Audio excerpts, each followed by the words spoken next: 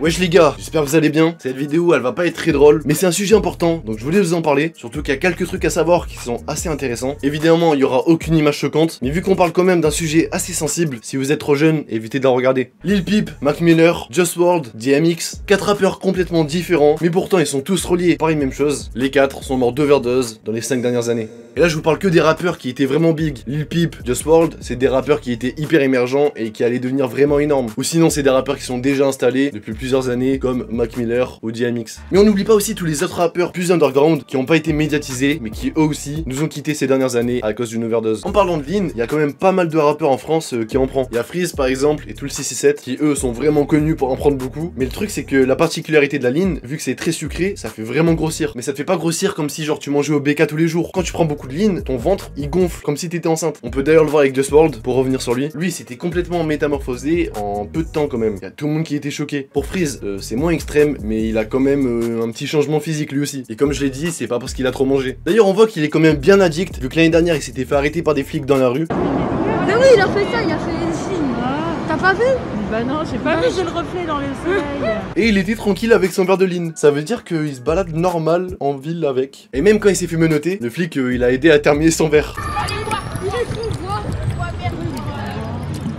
Bon, c'est certain qu'il devait sûrement pas savoir ce qu'il y avait dedans, vu que c'est une drogue qui est encore très récente. Pour nos darons, s'ils voient ça, euh, c'est juste un jus de fruits. Et des exemples comme ça, il y en a quand même pas mal en France. Par exemple, Zola, en interview, qui répond à une question sur deux, et encore. Le refrain, en gros, c'est je comprends pas pourquoi on ne comprend pas. Ouais, Toi, ça te parle, ce- cette phrase?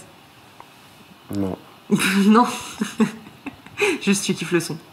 À savoir s'il était très très fatigué, ou alors euh, s'il était euh, complètement défoncé. Ou même Gizmo, même si là c'est quand même euh, un cas un peu à part. Je sais pas si on peut vraiment compter ça comme une drogue. Lui, ça fait des années qu'il est accro à l'alcool. Il a vraiment du mal à s'en détacher, et du coup, il en parle euh, très souvent dans ses sons. J'avais, euh, 13, je sais pas moi, 13 ans et demi, 14 ans. Donc presque 15 ans de boisson maintenant. Et dans les 15 ans de boisson, je pense qu'il y en a 10 ouais, pour oublier. hein. Et les 5 qui restent, c'est euh, de la remise en question. Je m'abstiens, j'arrête, je reprends, je rechute, j'arrête.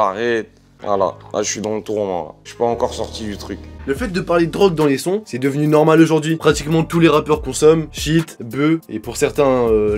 Et pour les requins, il y en a même qui vont jusqu'à la coque, le crack, Xanax, etc., etc. De toute façon, je vais pas faire la liste, euh, vous les connaissez déjà. Bref, tout ça pour dire que maintenant euh, c'est devenu normal. Mais si on revient quelques années plus tôt, c'était euh, pas du tout comme ça. À l'époque de Biggie, consommer des drogues dures comme le font certains rappeurs aujourd'hui, c'était giga mal vu. La coque, le crack, etc., etc. Tout ça, c'est des drogues que tu vendais aux tox, aux crackheads, que tu touchais pas. Et toi, au max, tu fumais juste de la bœuf, pas plus. Le premier rappeur à vraiment dire qu'il prend de la coque, c'est Rick Ross. Rose, that's my nickname. Cocaine running in my big veins. Puis après, il y a eu toute la wave euh, SoundCloud avec euh, Lil Pump, etc., etc., qui assumait complètement prendre des nouvelles drogues. Take a lot of drugs, don't think twice. Wow. Mais comme je l'ai dit en France, on n'en est vraiment pas encore là. Il y a très peu de rappeurs qui prennent ce genre de drogue. Pour la plupart des rappeurs français, la coque c'est quelque chose qui est encore très mal vu. On considère comme un petit blanc reniflant. Je dis non, la cocaïne c'est humiliant. Et pour la minorité qui en parle dans leur son, généralement euh, c'est surtout pour flexer, c'est pas vrai. Par exemple, les CH, ça m'étonnerait qu'ils prennent vraiment de la coque. Pourtant, euh, il a déjà dit ça. Coque dans un petit paquet. C'est Marseille, bébé. Moi personnellement, je te dirais pas que j'en ai pris, tu vois. Mais euh, pourquoi est-ce que nous, les jeunes qui sont en pleine à cette époque, est-ce qu'on va se mettre des barrières à en parler alors que peut-être même certains gens qui nous gouvernent en usent, tu vois euh, ce ce serait fou quoi. Pareil pour Freeze, hein, dans un son à l'époque, il avait déjà dit qu'il prenait du fentanyl, l'une des drogues les plus fortes au monde qui fait vraiment ravage au Canada et aux US. Gros terre, fantaline, je coupe ma merde au fentanyl. Quelques années plus tard, il a dit en concert qu'en vrai, euh, il en prenait pas. Juste, c'est la première fois que je fais le son là sur scène. Pour tous les gens. Je prends pas de fentanyl. Bref, pour la France, on a déjà fait pas mal de tours. Mais du coup, comment ça se passe chez les requins Quel rappeur prend la drogue? Dans quel état sont-ils aujourd'hui? Lesquels sont encore dedans Et lesquels ont réussi à s'en sortir? On va voir tout ça ensemble. Juste, je le dis pas assez, mais les gars, oubliez pas de vous abonner. Vous êtes plus de 80% à pas l'être, je crois. C'est une dinguerie de fou, wesh. Donc abonnez-vous pour soutenir la chaîne. Et aussi, si vous passez un bon moment, les gars, mettez un pouce bleu. Franchement, euh, ça aide de fou. Vous vous rendez pas compte. Bref, on va parler du cas extrême de Bunk. Pour faire court, avant d'être un rappeur, Bunk, il a grandi dans la rue. En fait, il va vivre sans son père et sa mère va le virer de chez lui alors qu'il était très jeune. Du coup, il va être obligé de se faire seul très rapidement. En 2017, c'est déjà le début du succès. Un succès euh, un peu bizarre. Il va se filmer en train de voler des magasins, des commerçants, des restaurants et même des gens dans la rue. Et tout ça, il va le poster sur Instagram. Genre, ça va marcher de fou. Je crois qu'il va avoir euh, le premier million d'abonnés euh, hyper rapidement. Mais évidemment, il y en a beaucoup qui vont porter plainte contre lui. Et contrairement en France, la justice, ça va le rattraper et il va être obligé de faire de la prison. Même si je crois qu'en vrai, ça va durer juste quelques jours. En sortant de prison, il arrête complètement ses vols et il veut se lancer officiellement dans le rap. Et d'ailleurs, si je me trompe pas, je crois qu'il va signer dans le même label que Lil Pump. Et on dirait pas, mais c'est à partir de là que ça va vraiment partir en couille. Fin 2017, Bunk, il annonce qu'il arrête officiellement la drogue. C'était connu qu'il prenait un peu d'MDMA, de Xanax apparemment. Mais maintenant, c'est fini. En réalité, il va pas tenir très longtemps. 2018, on le voit en interview, complètement défoncé. Il était dans un état euh, vraiment extrême. Pour le coup, c'est certain, il avait pas que fumé. I feel like this shit gonna go.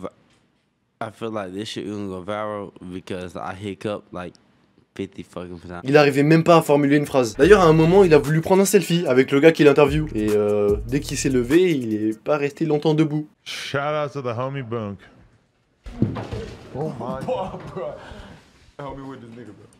Le soir même, ou je crois le lendemain, ou quelques jours plus tard, sur Twitter, il expliquera que s'il se drogue, c'est parce qu'il se sent euh, hyper seul. Heureusement, quelques temps plus tard, il va complètement arrêter. Et cette fois-ci, euh, pour de bon. Il va se convertir et être à fond dans la religion. Maintenant, il essaie de faire passer que des bons messages, que des messages positifs sur Insta. Il fait même de la prévention par rapport aux drogues. Et il va continuer tranquillement la musique dans son coin. Bref, je me suis un peu arrêté sur cette histoire, mais en vrai, euh, je la trouvais grave intéressante. Il y a Kodak Black aussi qui consomme vraiment beaucoup. Contrairement à Bunk, lui, il est encore en plein dedans. Il y a à peine quelques mois, il a été invité sur une chaîne YouTube pour réagir à ses propres sons. Et dans la vidéo, tu vois qu'il va vraiment pas très bien. I know how to control myself. I got more self control and shit.